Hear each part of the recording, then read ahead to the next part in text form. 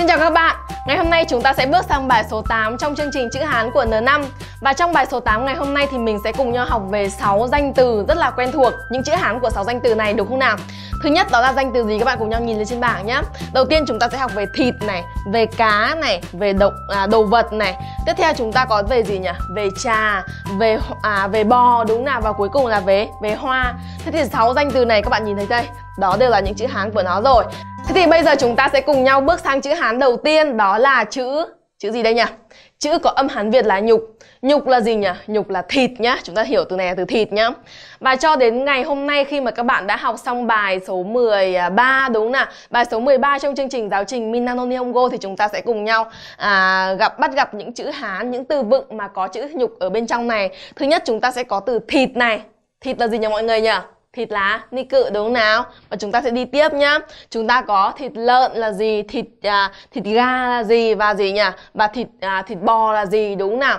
Thế thì à, cụ thể như thế nào thì trước tiên chúng ta sẽ giống như mọi lần. Đó là mình sẽ cùng nhau học về phần đề gì đấy nhỉ?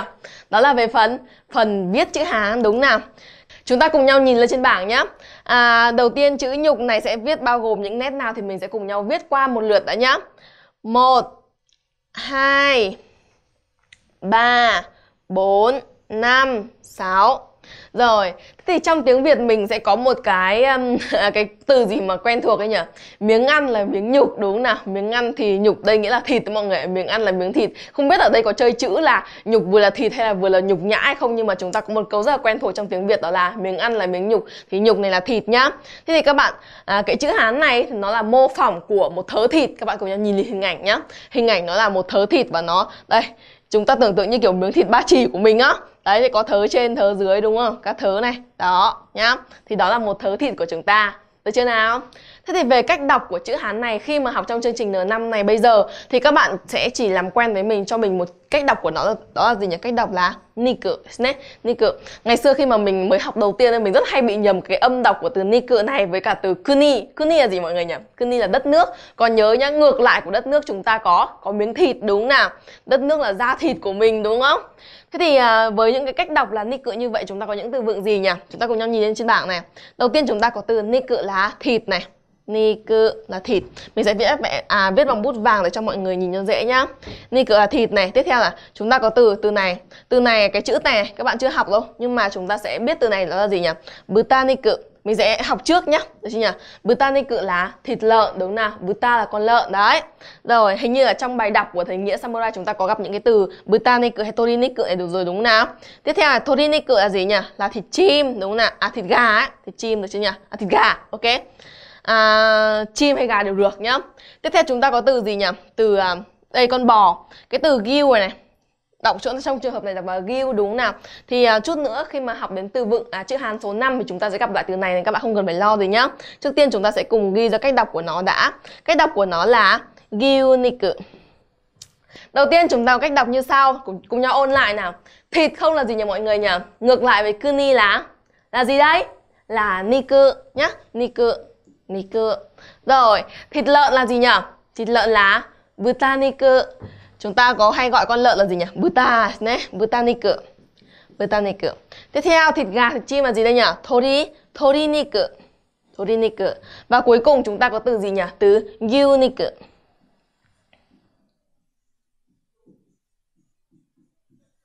À, khi mà dạy từ bài 1 đến bài bài 7 thì uh, mấy hôm nay thì mình mới phát hiện ra một điều đó là gì nhỉ? Khi mà mình dạy thì uh, cái chỗ này là phiên âm đúng không nhỉ? Phiên âm à, chữ Hán thì uh, khi mà bên dưới nó có phiên âm cả chữ hiragana rồi mà bên trên mình vẫn gì nhỉ? Mình mình vẫn ghi lại, vẫn vẫn ghi lại cả như thế này. Thì uh, từ sau uh, chúng ta sẽ sửa lại cái này nhé. Mọi người không cần phải ghi lại phiên âm của cả chữ hiragana này nữa mà chúng ta chỉ cần ghi phiên âm của chữ nhật lên là được rồi, được chưa nào? Hãy để các bạn tránh nhầm lẫn nhá. Tiếp theo chúng ta sẽ bước sang chữ Hán tiếp theo đó là xong ăn xong thịt rồi bây chúng ta sẽ sang ăn ăn cá đúng nào? Ăn cá, cá trong tiếng Nhật à không phải cá tiếng Nhật mà là chữ Hán, âm Hán Việt của chữ cá chúng ta có từ gì nhỉ? Ngư nghiệp mọi người đúng không nào? Thế thì âm Hán Việt của nó là là ngư và trong bài ngày hôm nay về chữ ngư này chúng ta sẽ chỉ học một từ duy nhất đó là từ mà chúng ta đã học rồi trong chương trình à, học à, từ vựng đó là chữ sakana. Sakana là con gì đấy? Là con cá phải không nào? Thế thì à, về cái à, cách viết của nó chúng ta sẽ cùng nhìn như sau. Cách viết như thế này nhá. Hai, một, hai, ba, bốn, 5, 6, 7, 8, 9, 10, 11 Mọi người cùng nhau viết lại nhá Các bạn viết được không nhỉ? Đầu tiên bên trên giống cái cần câu không? Mọi người nhìn giống cái cần câu không? Xong bên dưới là trong bộ thủ chúng ta học về chữ gì này nhỉ? Chữ điền đúng nào? Chữ điền là gì đấy? Điền là ruộng đúng nào? Ruộng, ra ruộng, mình cầm cần câu, mình câu cá, mình câu xong thì mình có mấy cái nhánh lửa bên dưới này. Mình mang đi nướng cá, đúng không nào? Thì đó chính là về cách nhớ của chữ Hán này luôn. Chúng ta cùng nhau tưởng tượng lại câu chuyện này nhá. Đầu tiên chúng ta gì nhỉ? Mang cần câu này, đi ra ngoài đồng này, được chưa nào? Rồi mình câu lấy con con cá rồi mình mang về mang về nướng cá đúng không? Nướng cá luôn ở ngoài đấy để ăn luôn. Cái này ở bên Việt Nam mình rất là hay có đâu. Nướng cá xong phát là cho mồi lửa là để thiêu à để, để nướng và để ăn luôn đúng không nào? Thì đó là về chữ sakana này nhá. Các bạn cùng cho nhau thử nhắm mắt lại xem bây giờ mình đã viết được luôn chữ hán này chưa nhỉ? Rồi bên trên là cái cần câu này. Xong rồi tiếp theo chúng ta có bộ điền chữ điền chữ ruộng đúng không nào? Và bên dưới là có bốn nhánh lửa ok? Hay Thế thì về cách đọc của nó thì trong bài ngày hôm nay chúng ta sẽ chỉ cần nhớ cho mình một cách đọc duy nhất đó là cách đọc sakana nhỉ khi mà đứng một mình là sakana. Ngoài ra những cách đọc là uo này thì nó khá là ít gặp ít gặp nhá. Còn cách đọc là gyo, gyo thì sau này khi học lên N3 chúng ta sẽ gặp nhiều nhá, gặp nhiều. hãy nhớ từ sakana này nhá. Để bây giờ chúng ta sẽ cùng nhau đọc lại từ này cho mình nhá. hãy xin mời mọi người cùng nhau đọc nào. Một là hai, ba. Gì đây? Sakana, ok. Sakana nhá. Chúng ta sẽ viết ra đây là sakana. Được chưa nào? Hay, sakana nhá. Tiếp theo chúng ta sẽ cùng nhau học về chữ Hán là con bò là có âm Hán Việt là ngưu Ngưu là con bò rồi Thế thì cho đến ngày hôm nay chúng ta sẽ học à, từ gì nhỉ? Các bạn thử nghe cái từ vựng này xem các bạn nhớ nó nghĩa là gì không nhá Thứ nhất chúng ta có từ uniu niu là sữa bò đúng không nào? Hay là ngưu ni cự chúng ta vừa mới gặp trong chữ ni cự trong chữ thịt đấy Đó là chữ gì nhỉ? Nghĩa là thịt bò đúng không nào? Còn sau này các bạn sẽ gặp những từ này Đó là từ gyudong hay là từ gì nhỉ? Oshiza, à, Oshiza Oshiza trong bài 32 chúng ta sẽ học đúng không nào? À, các bạn thấy trong tài liệu chúng ta có ghi rồi. Trong bài 32 chúng ta sẽ học từ này nghĩa là chòm sao kim ngưu còn sau này từ gưu đông là món cơm thịt bò đúng không nào? Hay thì trước tiên chúng ta sẽ cùng nhau giống như mọi lần chúng ta sẽ cùng nhau nhìn về cách viết của nó nhá. Mọi người cùng nhau nhìn nhìn trên bảng. Trước tiên mình sẽ cùng nhau tập viết đã được không nào? Đầu tiên này một nét hai nét đúng nào? Ba nét và bốn nét. Một hai đúng không? Ba bốn. Thế thì ờ, khi mà gặp sang cái chữ ngư này các bạn viết được có nhớ được luôn cái hôm nào mà chúng ta học cái chữ này rồi chưa? Hôm mà mình sẽ cùng nhau mình đã cùng nhau học về chữ umareru là chữ sinh đúng nào? Đó là gì nhỉ? Đó là à, vào buổi trưa đầu tiên chữ này chữ ngọ đúng nào? buổi trưa mình gì nhỉ mình đẻ ra một con con bò nó cái thò cái đầu ở bên trên đó thì nhớ lại về cái chữ hán mà hôm trước mình học về chữ sinh này nhá hay rồi thế thì ờ, về cách đọc của nó thì ờ, chủ yếu nó sẽ có cách đọc là gì ấy nhỉ Gil, được chưa nào? Gil có trường âm, Gil trường âm. Còn Ushi thì rất là ít và chúng ta thường chỉ gặp trong đúng cái từ này thôi, đó là gì nhỉ? Oshiza là chòm sao kim ngưu. Thế thì hôm nay mình sẽ cùng nhau học về cách đọc là Gil nhá. Gil chúng ta có Gil gì nhỉ? Gilnik ghép với cả chữ nhục vừa nãy đúng không nào? Gilnik. Hay là sữa bò sẽ là Gilniu. Ừ. Gilniu. Và Gil, động. À, trong số những bạn đang xem clip này không biết là có ai đang ở bên Nhật không nhỉ? Nếu mà ở bên Nhật thì chắc hẳn là các bạn đã từng ăn món cơm gyudon này rồi nhá. Các bạn cùng nhau xem bức ảnh này nhá. Bức à, ảnh cơm bên trên có thịt bò bên trên đúng không nào? Hay, và chúng ta sẽ cùng nhau ôn lại những cái từ vựng của chữ ngưu này nhá. Mọi người cùng nhau đọc cho mình nào. Đầu tiên chúng ta có từ sữa bò là gì nhỉ? Gyu, gyu niu. Hay. Mình cứ ôn đi ôn lại như này đúng nào để sau lên lớp thầy cô giáo còn kiểm tra đúng không? Thế ta chúng ta có từ gyuniku nhé. Gyuniku. Gyuniku là thịt bò. Rồi, đó là về con bò của mình nhá. Hay, tiếp theo chúng ta sẽ bước sang từ có âm Hán Việt là trà. Và trà là gì nhỉ? Trà là trà luôn, đúng nào? Chúng ta có trà đạo này hay là có matcha? Matcha. À, Với người Việt Nam mình rất là ưa thích cái matcha của Nhật Bản đúng nào? Là cái bột trà xanh của Nhật Bản đấy. Thế thì cho đến bài ngày hôm nay thì mình đã cùng nhau học về những chữ Hán Những từ vựng mà có chữ trà như sau. Đây là trà này. À, đây là gì nhỉ? À, cô cha này hay là chúng ta có từ trong từ gì nhỉ? Mình đã nghe từ trong từ mà kisaten gì nhỉ? Kisaten thì trong đó có từ trà ở đây. Đó Kisaten là một cái gọi là cái cái cái quán à, cà phê hay là quán uống nước đúng không nào? Quán cà phê. Các bạn cũng có thể nhìn cái hình ảnh quán cà phê ở bên Nhật cái cái quán Kisaten ở bên Nhật để các bạn tránh nhầm với những quán trà đá ở bên mình nhá. Thì trong cái quán cà phê đấy đều cũng đều có cái chữ Hán trà này. Thế thì về sau này chúng ta sẽ còn học những cái liên quan đến trà như sau. Ví dụ như có màu trà này Hay là có trà đạo này Hay là ochao tatemas là mình khuấy trà đúng nào? Khuấy trà, pha trà. Hay. Rồi chúng ta sẽ cùng nhau nhìn về cách viết của nó đã nhá. Trước tiên thì các bạn để ý với những cái chữ Hán mà nó có cây, nó liên quan đến cỏ cây hay là ở ừ, thực vật ấy thì bao giờ bên trên nó cũng có bộ gì nhỉ? Bộ gì mà chúng ta học trong các bài bộ thủ rồi đấy? Đó là gì nhỉ? Là bộ thảo đúng nào? Bộ thảo như viết như này. Cứ thảo là gì nhỉ? Là liên quan đến cây, cỏ, cây cối, thực vật. Rồi thế bây giờ các bạn nhìn bên dưới trong nhà đúng không? Giống như cái mái nhà. Và bên dưới chữ này giống chữ gì trong katakana chúng ta đã học rồi nhỉ? chữ hô đúng nào thế bây giờ mình lại tận dụng cái điệu cười hô hô của Việt Nam mình để mình giải thích chữ Hán này nhá trong nhà mà được uống trà thảo mộc đúng là bộ thảo thì thì cười hô hô đúng nào mọi người thấy buồn cười không? Hay mày tưởng tượng nhá. Nào trong nhà mà được uống trà thảo mộc bộ thảo bên trên thì gì nhỉ thì chúng ta cười cười hô hô. Và nhắc đến trà thảo mộc chúng ta hay nhớ cái trà gì mọi người? Hãy hay rồi về cách đọc của nó thì um, chủ yếu là chúng ta sẽ có cách đọc là âm ôn là gì nhỉ cha và gì nhỉ và sa có hai cái nhá. Một là cha hay là sa. Thế thì những cái nào chúng ta học rồi, chúng ta sẽ ghi những cái học rồi thôi ạ nhá. Thứ nhất ocha ocha là là trà đúng nào? Ocha nomimasu ka. Gì là ocha nomimasu ka. Hay là cô trà cô trà chúng ta dịch bằng cái từ gì nhỉ? Là hồng trà đúng không? Sau này chúng ta sẽ còn gặp từ này là từ chay độ. Đó, đều đọc là, đều đọc là cha hết nhé hay là ochao tatemasu pha trà đúng không? Rồi thế còn cái cách đọc là sa chúng ta thấy quen thuộc nhất là trong cái từ kisaten nhé Ki, uh, kisaten kisaten. Và gì nhỉ? Và trong trà đạo. Trà đạo sẽ không đọc là cha độ mà chúng ta sẽ đọc là sa độ sa độ. Ở đây có bạn nào hay um, tham gia các buổi uh, trà đạo đã từng tham gia buổi trà đạo của Nhật Bản chưa? Ngày xưa khi mà mình còn học đại học thì mình rất là hứng thú với những cái văn hóa của Nhật Bản á.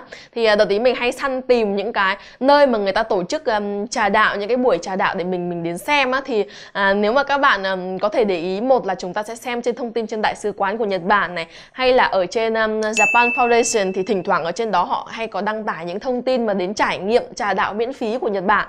Thế thì các bạn có thể tham khảo ở đấy cho chúng ta có thể tiếp xúc gần hơn với cái văn hóa của thứ tiếng mà chúng ta chúng ta đang học nhá.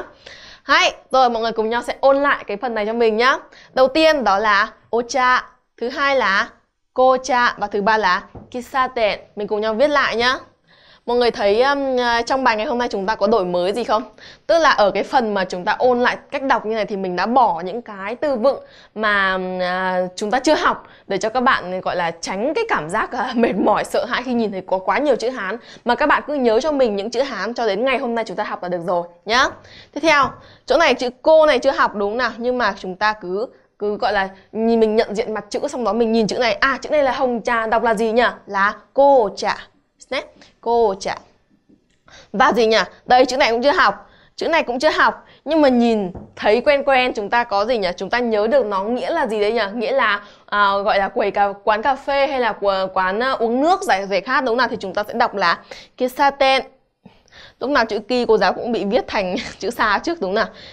Tệ nó thành cái gọi là cái cái cái tật mất rồi. Hay. Rồi vậy thì đó là về chữ trà của chúng ta. Tiếp theo chúng ta sẽ học về chữ vật. Vật này thì mình sẽ gặp rất là nhiều trong đồ vật, động vật, thực vật nhá. Tất cả mọi thứ đúng nào? Thế thì à, xuyên suốt chặng đường học từ vựng từ bài 1 đến bài 50 Chúng ta sẽ học rất là nhiều những chữ Hán có từ vựng của là chữ vật này. À, Tuy nhiên cho đến ngày hôm nay chúng ta sẽ gặp 1, 2, 3, 4, 5 Những chữ này là những từ mà chúng ta đã học rồi. Thì ở đây mình đã đánh dấu à, là dấu gạch chân rồi đúng không nào? Còn lại sau này chúng ta sẽ gặp những từ này. Thì hôm nay mình sẽ chỉ mang tính chất là giới thiệu như thế này thôi đúng không nào? Chưa cần phải chưa cần phải học quá nhiều làm gì. Mà bây giờ các bạn sẽ chỉ cần nhớ cho mình. Ví dụ đây là đồ vật này Đây là hoa quả này Đây là uh, à, gọi là gì nhỉ? Hành lý đúng nào? Ni một rồi đồ ăn đồ uống. Đó là chữ vật của chúng ta nhá. Còn sau này mình sẽ học ví dụ trong từ đi mua sắm là kaimono này hay là động vật là đô bứt dự à, kimono là kimono của chúng ta đúng nào? Kimono của người nhật đấy. Hay là bực ca hay, um, shinamono, wasuremono, norimono. Đó đều các bạn nghe đều thấy gì nhỉ? Mono mono hết đúng không nào? Thế thì sau này những cái từ này chúng ta sẽ sẽ đọc là gì nhỉ? Một là bứt dự, hai là mono thôi đúng không nào? Mọi người thấy quen quen không? Rồi, về chữ vật này thì chúng ta sẽ cùng nhau nhìn qua về cách viết của nó đã nhá. Cách viết đầu tiên bên này các bạn thấy một nửa bên này. Đó là cái gì mà chúng ta vừa mới học ấy nhỉ? là con bò đúng nào con bò và đằng sau cái này mọi người biết là cái gì không là con cáo đấy mọi người ạ đấy, nhìn thấy cái này chúng ta cứ hình dung đây con cáo nhá. Thế thì nhớ như thế nào giờ? Vật thì mình sẽ giải thích cái từ này trong từ động vật đi. Động vật nói chung đúng nào thì nó sẽ bao gồm rất là nhiều con và người ta lấy ví dụ là bởi hai con rồi nhỉ. Một là con bò và hai là hay là con cáo nhá. Được chưa? Rồi thế từ giờ cứ nhìn thì cái này đây chúng ta sẽ hình dung là con cáo nhé còn đây là đồ vật. Đồ vật là bao giờ bao gồm à động vật bao gồm rất là nhiều loại. Trong đó điển hình là có con con bò và con cáo. Hay tại sao người ta không lấy những cái con khác mà người ta lấy con này? Thì um, đó là câu chuyện của chúng ta. Và câu chuyện của ngày xưa thì có thể hơi khác nhau một chút nhưng mà các bạn sẽ nhớ chữ hán theo cách nhớ cùng như vậy của mình nhá. Hoặc là nếu mà bạn có một cách nhớ nào mà nó thú vị hơn mà liên tưởng được từ cái chữ này chữ con cá chúng ta khó nhìn ra đúng không nào? Thì các bạn phải chia sẻ xuống bên dưới phần comment xuống dưới cho mình nhá để cho mình và tất cả các bạn khảo học khác cũng có thể tham khảo thêm được không nào? Hay thế thì về cách đọc của nó. Wow chúng ta nhìn thấy này. Trời quá là nhiều đúng không nào? Chủ yếu nhiều nhất thì chúng ta sẽ thấy có cách đọc là mono là âm thuần nhật. Khi mà nó đứng một mình hoặc là ghép với những cái âm thuần nhật khác đúng không nào? Chúng ta thấy có kudamono. Kudamono là hoa quả, học rồi đúng không nào? Hay là từ này là mono là đồ vật. Tiếp theo chúng ta có từ ăn, đồ ăn sẽ là tabemono. Rồi, tabemono. Chữ thực này chúng ta học rồi đúng không? Tiếp theo chúng ta có đồ uống là gì nhỉ? No, nomimono. Được chưa? Hay. Sau này mình sẽ học những cái từ này ví dụ kaimono, kimono. Từ này chúng ta sẽ đọc là tatemono là những cái tòa nhà đúng nào? Tatemono. Rồi, hàng hóa sẽ là shinamono. Những từ này sau này mình sẽ học thôi. Còn nếu mà bạn nào mà chăm chỉ chúng ta học trước luôn được, đúng không nào? Wasuremono và Wasuremono là đồ bỏ quên đúng nào? Ví dụ các bạn đi tàu điện á mà các bạn hay để quên đồ thì cái những cái đồ đó sẽ được gọi là wasuremono. Tiếp theo norimono là những cái gì nhỉ? Là chúng ta có động từ norimas sẽ là leo lên tàu đúng nào? Thế bây giờ mình có cụm từ norimono sẽ là gì đấy nhỉ? Là là những cái phương tiện giao thông nhá. Honmono, honmono là gì? Honmono là đồ thật, hàng thật đấy. Hay là sau này mình sẽ học từ sentakumono. Sentakumono là gì nhỉ? Là những cái đồ mang đi giặt đấy, đồ quần áo giặt. Ngoài ra cách đọc là butsu, motsu và bực. Bực này thì là gì nhỉ? Chữ chữ âm chữ nhỏ là âm ngắt nhá. Mình sẽ có cách đọc đầu tiên là động vật sẽ là do Đô bực butsu là động vật nhá. Đô bực dự. Rồi, nếu bạn nào mà chăm chỉ thì thông qua những cái bài chứng Hán thì chúng ta học được luôn cả những từ vựng về sau này đúng không? Tiếp theo này chúng ta có từ nimotsu, nimotsu là hành lý, hành lý nhá. Và cuối cùng chúng ta có từ vật giá, giá cả đấy sẽ là bực cả. Bực cả. Ví dụ như bực cao bukka yasui desu ne. Ok. Hay, và bây giờ chúng ta sẽ cùng nhau ôn lại về cách đọc của những cái từ mà chúng ta đã học rồi nhá. Đầu tiên chúng ta có từ gì nhỉ? Đồ uống, à không phải đồ uống mà là à, hoa quả gì nhỉ hoa quả là kudamono so kudamono um, kudamono rồi những cái đồ vật nói chung sẽ là mono hay mono tiếp theo chúng ta có từ gì nhỉ hành lý sẽ là gì nhỉ mọi người nhớ không nimotsu tiếp theo chúng ta có từ đồ ăn sẽ là tabemono ừ, tabemono sẽ đồ ăn và ngược lại đồ uống sẽ là no nomimono. Ừ, nomimono nhá. Hãy cùng nhau ôn lại nhá. Kudamono, mono, nimotsu, tabemono và nomimono. Được chưa nào? Hay, và chúng ta sẽ bước sang chữ Hán cuối cùng của ngày hôm nay đó là chữ Hán nói về chữ hoa. Hoa thì âm Hán Việt của nó là hoa luôn. Và chúng ta nhìn thấy à, mình đã học từ gì nhỉ? Từ chúng ta có từ hanami chữ kiến này. Rồi đúng là kiến học rồi đúng nào. Hanami là ngắm hoa anh đào đúng nào. Hay là gì nhỉ? Chúng ta có từ hana là hoa. À, ikebana. Ikebana là gì nhỉ? Ikebana là nghệ thuật cắm hoa của nhật bản. Thì hôm trước mình học về chữ sinh này mình cũng đã gặp tại từ này rồi đấy đúng nào. Tiếp theo chúng ta có từ hanabi. Thì sau này mình sẽ gặp từ hanabi. Hanabi nghĩa là pháo hoa. À chữ này thì um, mặc dù chữ cái từ vựng là từ hanabi mình sẽ chú thích thêm nhé Mặc dù cái từ vựng là từ hanabi thì chúng ta chưa học, sau này chúng ta mới học. Tuy nhiên cái chữ Hán để tạo thành chữ Hanabi này thì chúng ta thấy học chưa? Đầu tiên chúng ta có chữ hoa ở đây đúng nào? Hoa hôm nay chúng ta sẽ học. Còn chữ chữ gì nhỉ? Chữ đằng sau chữ gì mọi người nhớ không? Hai người cầm hai hai tay hay đốm lửa là gì nhỉ? Chữ hỏa mình học rồi đúng nào? Hoa hỏa hỏa hoa thì tức là pháo hoa. Pháo hoa của Nhật Bản là Hanabi, là một nhà cái gọi là gì nhỉ? Ở bên Nhật, bạn nào bên Nhật thì bạn, các bạn sẽ rất là hay được ngắm pháo hoa, đặc biệt là trong những vào vào trong những cái dịp mùa hè cuối tuần ở bên các công viên của Nhật Bản hay bất kỳ một nơi nào, ven sông của Nhật Bản, đúng không nào? Ven các dòng sông của Nhật Bản thì họ rất là hay bắn pháo hoa nhá, vào dịp mùa hè. Hay rồi, thế còn về cách nhớ chữ Hán thì đầu tiên các bạn cũng nhìn thấy giống như giống như chữ gì nhỉ? Chữ cha vừa nãy chúng ta thấy là gì nhỉ? Bên này có gì nhỉ? Bộ thảo ở trên này, đúng không nào? cứ những chữ nào về thực vật, chữ nào về thực vật thì đều có bộ thảo ở trên. Và ở đằng dưới chúng ta có gì nhỉ? Đây. Hay. Thế thì chữ hán này chúng ta sẽ nhớ kiểu gì bây giờ?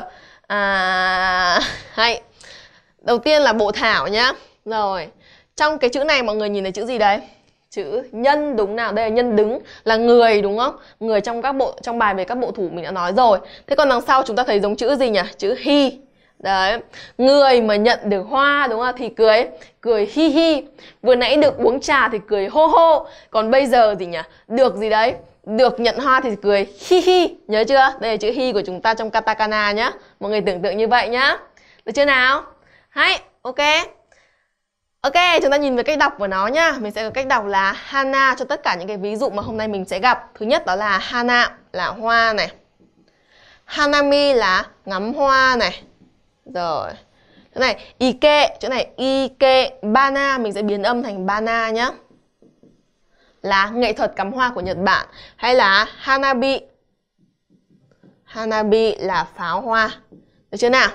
Ngoài ra có cách đọc là ka thì cho đến bài ngày hôm nay chúng ta hay là trong cả chương trình N4, N5 chúng ta sẽ không có gặp cái cách đọc là ka này. Thế nên là cái này mình sẽ để sau nhá. Hãy xin mời chúng ta sẽ cùng nhau ôn lại những từ vựng này nhá. Đầu tiên chúng ta có từ ngắm hoa anh đào gì mọi người nhỉ? Ngắm hoa anh đào sẽ là hanami. So, hanami.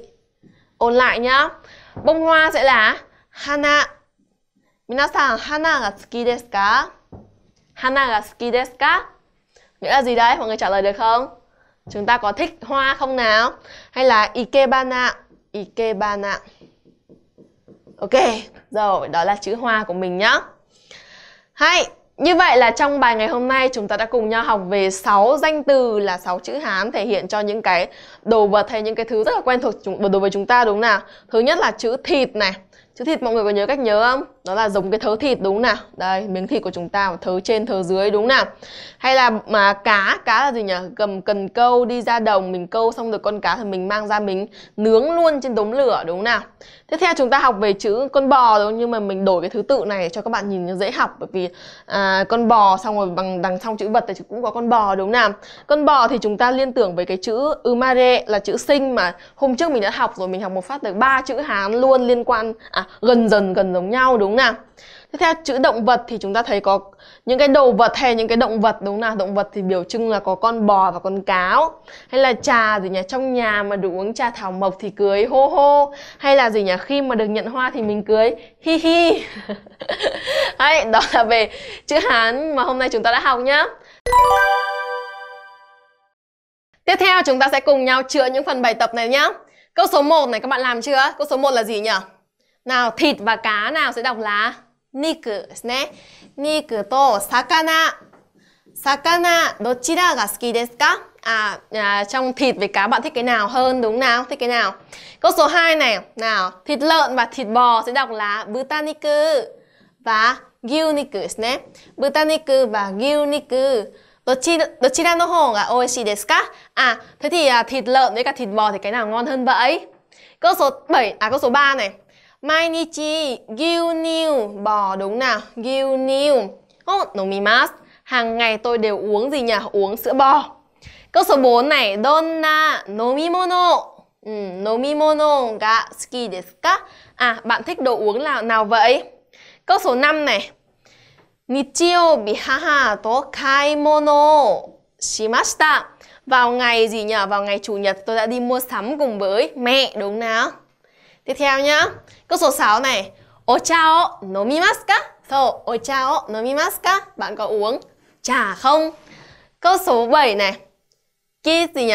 Ki kisaten. So, kisaten de cô cháo nomimasu. Nè tôi uống hồng trà ở ở uh, gọi là quán cà phê đúng không câu số 8 này nihon de gyudon nè gyudon gyudon ga tabetai desu ở Nhật Bản khi ở Nhật Bản tôi muốn ăn gì nhỉ? Muốn ăn cơm thịt bò ấy đúng không các bạn nhìn bức ảnh của món gyudon nhá. Câu số 9 này Ikebana nè nghệ thuật cắm hoa Nhật Bản đúng nào? Ikebana naraitai desu tôi muốn học cắm hoa Ikebana đúng nào? câu số 10 này Nihon e nimotsu nè nimotsu o okurimashita là gì nhỉ tôi đã gửi hành lý đến đến Nhật Bản tiếp theo nhá 去年の4月友達とお花見お花見をしました vào tháng 4 của năm ngoái thì tôi đã đi ngắm hoa anh đào cùng với bạn bè. Câu số 12 này. Tanjoubi ni hana ne Hana omoraimashita vào ngày sinh nhật thì tôi đã được nhận hoa. Câu số 13 này. Gakko no mai ni kissaten ga arimasu. Câu này dễ rồi là ở trước cửa trường thì có gì nhỉ? Có một quán nước, quán giải khát hay quán cà phê đúng nào? Câu số 14 này. Super e kaimono, kaimono ni ikimasu. Tôi đi gì nhỉ? Đi mua sắm ở à đi đến à, siêu thị để mua để mua đồ đúng nào? Và câu 10, 15 này. Kono gì nhỉ? Ushi. Ushi là con bò đúng nào? Ushi. Con động vật này là con gì vậy? Là con là con bò vậy, đúng không? Hay 15 câu ngày hôm nay mọi người làm đúng hết không nhỉ? Hy vọng là các bạn làm đúng hết nhá. Hay và hẹn gặp lại các bạn trong những bài học tiếp theo. Minasan, otsukare sama desu. Bye bye.